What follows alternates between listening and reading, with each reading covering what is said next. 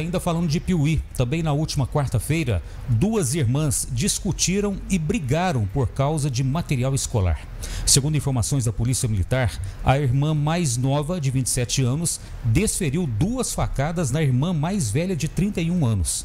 A vítima sofreu dois cortes profundos, um no braço e outro na perna direita. Ela foi socorrida pelo SAMU e encaminhada para a Santa Casa de Piuí. A suspeita pelas facadas fugiu e a polícia segue em rastreamento.